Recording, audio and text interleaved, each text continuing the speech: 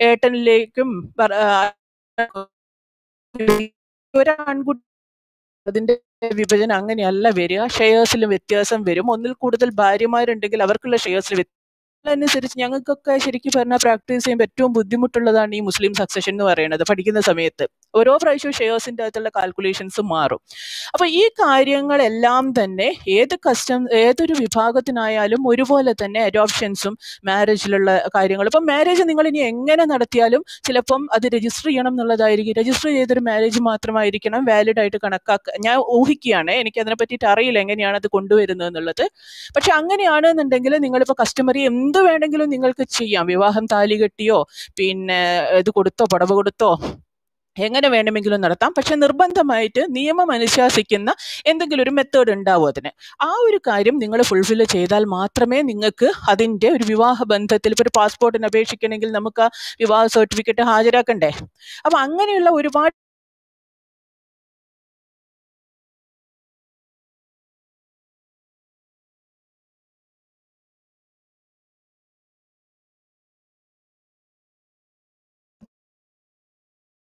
അദ്ദേഹം പറയുന്ന ഇപ്പം മുസ്ലിം സ്ത്രീ വേണ്ട എന്ന് പറ ഇപ്പം ഈ പറയുന്ന പോലെ സപ്പോസ് ഇപ്പം ഭർത്താവ് മരിക്കുന്നു. അപ്പം ഭാര്യയ്ക്ക് ഇത്ര മാത്രമാണ് ഷെയർ എന്ന് പറയുന്നു. ഇപ്പോൾ ഭർത്താവ് മരിച്ച് മരിച്ച് ഹലോ എന്റെ വോയിസ് എനിക്ക് തന്നെ എക്കോ ആയിട്ട് വരുന്നു. അപ്പൊ എനിക്കൊരു സംശയം നിങ്ങൾ കേൾക്കണ്ടോ ഇല്ലയോ എന്നുള്ളത്? ആ ഓക്കെ ഓക്കെ ഓക്കെ. അപ്പം ഇതിൽ എന്താണെന്ന് വെച്ചാൽ ഇപ്പം മുസ്ലിം സ്ത്രീക്ക് ഇപ്പം പിന്നെ ഹാഫ് ഷെയർ ആണ് നിയമം അനുശാസിക്കുന്നത്. പക്ഷെ അവർക്കിപ്പം കാൽ ഷെയർ ആണ് ശരീരത്ത് പ്രകാരം കിട്ടുക എന്ന് വിചാരിക്കുക. അപ്പം അവർ വിചാരിക്കുകയാണ് എനിക്ക് കാൽ ഷെയർ മതി. പക്ഷേ അവിടെ വരുന്നൊരു പ്രശ്നം എന്താ വെച്ചാൽ നാളെ നിങ്ങൾക്ക് പിന്നെ ആ ഒരു സ്വത്ത് വിൽക്കേണ്ട ഒരു സമയം വരുന്ന സമയത്ത് ഈ ഡോക്യുമെന്റ്സ്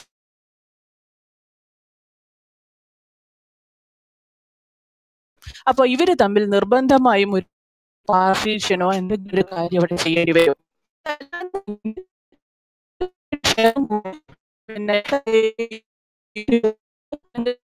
പറയുന്നതല്ലാത്ത മറ്റൊരാൾക്കാണ്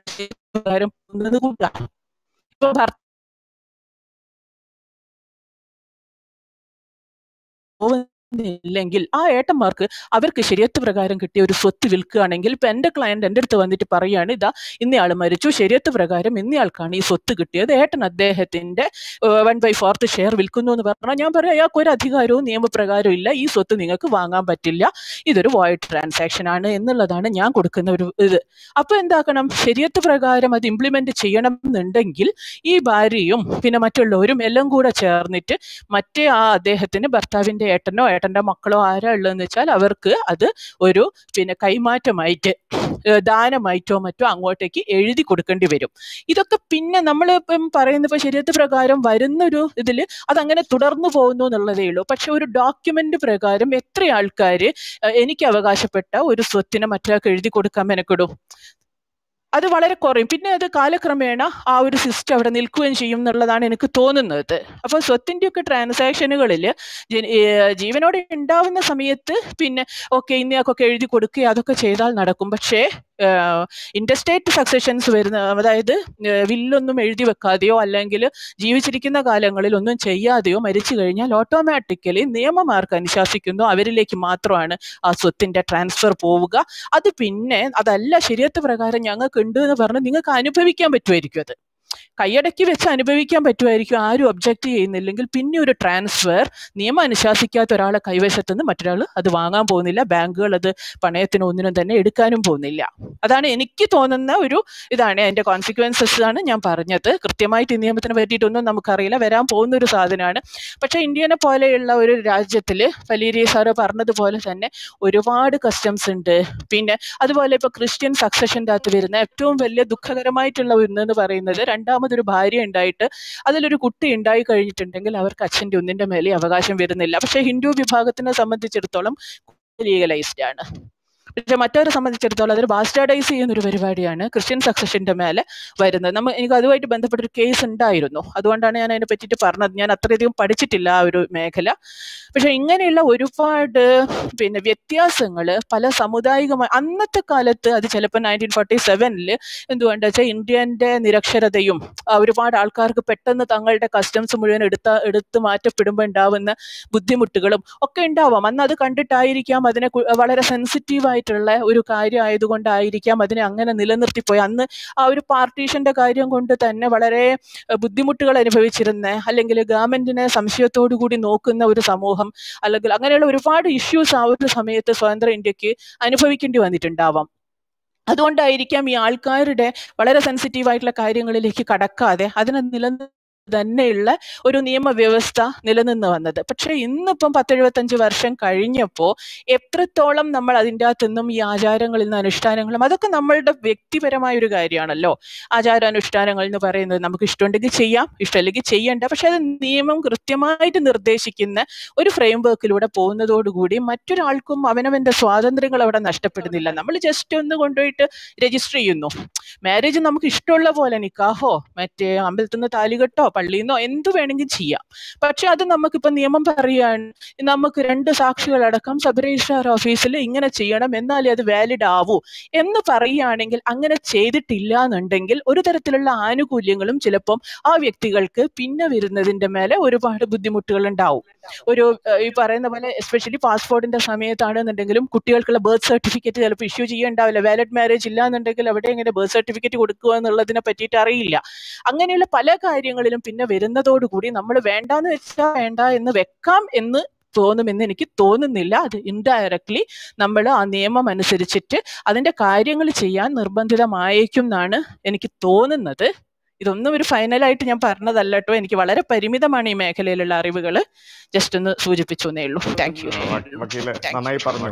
കാര്യങ്ങൾ ഞാൻ ഞാൻ ഒന്ന് ജോയിൻ ചെയ്തോട്ടെ. ഞാൻ ആ, ഇസ്മായിൽ ഒന്ന് സംസാരിക്കൂ. ഇസ്മായിൽ ഒന്ന് സംസാരിക്കൂ. ഒന്ന് മറ്റുള്ളവർ മ്യൂട്ട് ചെയ്യണം കേട്ടോ. അതായത് ഇത് പിന്നെ ഞാൻ കുറെ നേരമായിട്ട് കേട്ടോണ്ടിരിക്കുന്ന വളരെ നല്ല ഡിസ്കഷൻ ആണ്. എസ്പെഷ്യലി ഇതിന് മുന്നേ സംസാരിച്ച സഹോദരി വളരെ ക്ലിയർ ആയിട്ട് കുറേ അധികം കാര്യങ്ങൾ നമുക്ക് എക്സ്പ്ലെയിൻ ചെയ്തു തന്നു. നമ്മളുടെ നിയമവ്യവസ്ഥ വാസം പറഞ്ഞാൽ വളരെ ഫ്ലൂയിഡാണ് ഇതിൽ തന്നെ പല കാര്യങ്ങളും പൊളിച്ചെഴുത്ത് വേണ്ട കാര്യങ്ങളുണ്ട്. അത് എല്ലാ പേഴ്സണൽ ലോനെ പറ്റിയാണെങ്കിൽ തന്നെ സിവിൽ ലോനെ പറ്റിയാണെങ്കിൽ തന്നെ എല്ലാം പഠിച്ച് നന്നായിട്ട് പഠിച്ചിട്ട് അത് ഒരു പൊളിച്ചെഴുത്തേണ്ട ആവശ്യമുണ്ട്. നമ്മൾ ഗവൺമെന്റ് ഇൻട്രൊഡ്യൂസ് ചെയ്യുന്ന ഒരു നല്ല നിയമമാണെങ്കിൽ നമ്മൾ എല്ലാവരും സ്വീകരിക്കേണ്ട ഒരു കാര്യമുണ്ട്. ഇന്ത്യയിൽ തന്നെ മുസ്ലിം ലോ എന്നും കൂടിയല്ല പറയുന്നത്. മുഹമ്മദൻ പേഴ്സണൽ ലോ ലോ എന്നാണ്. അത് ബ്രിട്ടീഷുകാർ ഉണ്ടാ ഉണ്ടായിരുന്ന കാലത്ത് മുതലുള്ള അത് കണ്ടിന്യൂ ചെയ്തുകൊണ്ട് പോകുന്നതാണ്. അതിലൊരു മാറ്റത്തിന് പോലും ശ്രമിച്ചിട്ടില്ല. അത് മുസ്ലിങ്ങൾക്ക് പോലും പലപ്പോഴും മനസ്സിലാകാത്ത പല നിയമങ്ങളും അതിൽ കയറി വന്നിട്ടുണ്ട്. ഇപ്പൊ സഹോദരി പറഞ്ഞ മാതിരി തന്നെ ഇൻഹെറിറ്റൻസ് ലോയിലൊക്കെ പലതും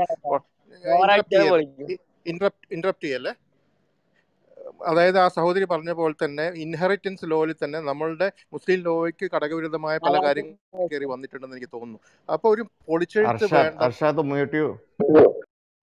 ഒരു പൊളിച്ചെഴുത്ത് അതിന് ആവശ്യമാണ്. അത് നമ്മളെ ഗവൺമെന്റ് വളരെ ലിബറൽ ആയിട്ടുള്ള നല്ലൊരു പേഴ്സണൽ ലോ കൊണ്ടുവരികയാണെങ്കിൽ എല്ലാവരും സ്വീകരിക്കണം എന്നുള്ളതാണ് എന്റെ പേഴ്സണൽ ആയിട്ടുള്ള ഒപ്പീനിയൻ എന്ന് വെച്ച് കഴിഞ്ഞാൽ പല മുസ്ലിം രാജ്യങ്ങൾ മുസ്ലിം ഡോമിനേറ്റഡ് രാജ്യങ്ങളിൽ പോലും പല നിയമങ്ങളും പേഴ്സണൽ നിയമങ്ങളും ആ- ഗവൺമെന്റിന് ഇഷ്ടപ്പെട്ട വിധത്തിൽ മാറ്റി എഴുതിയിട്ടുണ്ട്. ഇപ്പൊ തുനീഷ്യ പോലത്തെ രാജ്യങ്ങളിലൊക്കെ പോളിഗമി ബാൻഡാണ് അവിടെ പോളിഗമി അനുവദിക്കില്ല. അത് ഇല്ലീഗലാണ് അപ്പോൾ അതിനെപ്പറ്റി അവിടെ അവിടെ പല പല പലതരത്തിലുള്ള തമാശകൾ പോലും അതിനെപ്പറ്റി വന്നിട്ടുണ്ട്. ഒരു ഒരാൾക്ക് രണ്ട് ഭാര്യമാരുണ്ടായിരുന്നു പോലീസ് വന്ന് അന്വേഷിക്കാൻ വന്നപ്പം ഈ പോലീസുകാരൻ വന്നിട്ട് നോക്കിയിട്ട് പറഞ്ഞു നിങ്ങളുടെ വീട്ടിൽ ഒരാളും രണ്ട് ഭാര്യമാരുണ്ടെന്ന് കേട്ടല്ലോ. തുണീഷ്യയിൽ നടന്നൊരു കാര്യമാണ് പറഞ്ഞത്. അപ്പോൾ ഇയാൾ പറഞ്ഞില്ല എനിക്കൊരു ഭാര്യയേ ഉള്ളൂ. അപ്പോൾ ഇവിടെ രണ്ട് സ്ത്രീകളുണ്ടല്ലോ. അങ്ങനെയാണല്ലോ കേട്ടത്. ഇവിടെ രണ്ട് ഭാര്യമാർ വെക്കുന്ന ഇല്ലീഗൽ അല്ലേ നിങ്ങൾ ജയിലിൽ പോകേണ്ട വരില്ലേ എന്ന് പറഞ്ഞപ്പോൾ പറഞ്ഞു ഒന്ന് എന്റെ ഭാര്യയും മറ്റേ മറ്റേത് എന്റെ കൂട്ടുകാരിയാണ് അപ്പം ഈ വന്ന ഉദ്യോഗസ്ഥൻ പറഞ്ഞാൽ പിന്നെ കുഴപ്പമില്ല. ഒരു ഭാര്യ ഉണ്ടാകാൻ പാടുള്ളൂ. കൂട്ടുകാരി ഉണ്ട്- ഉണ്ടായിക്കോട്ടെ കുഴപ്പമൊന്നുമില്ല.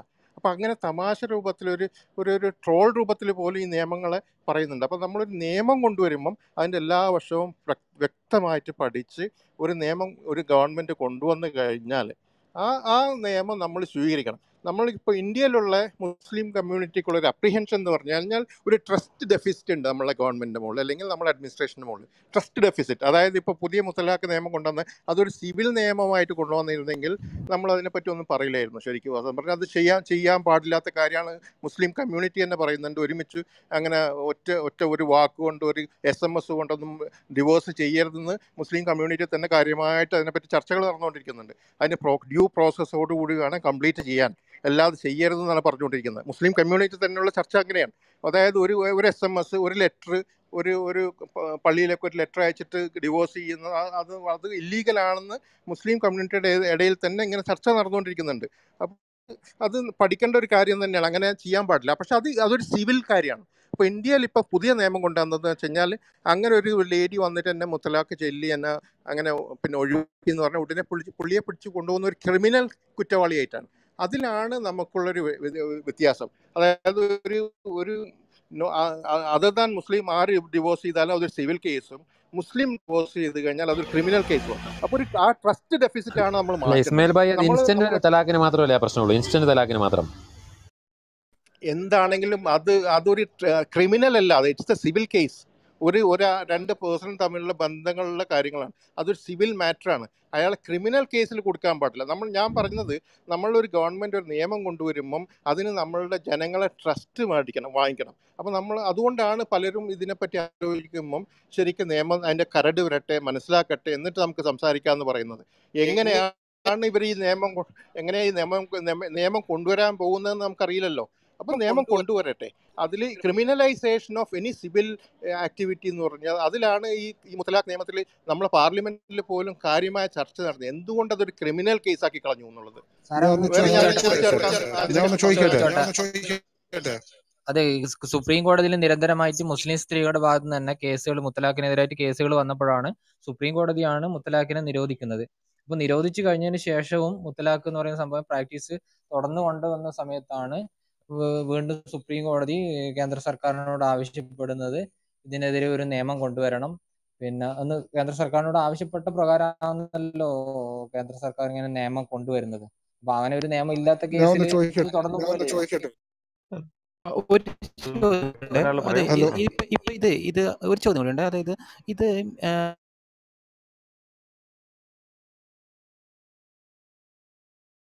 അല്ലായിരിക്കുമോ Bye.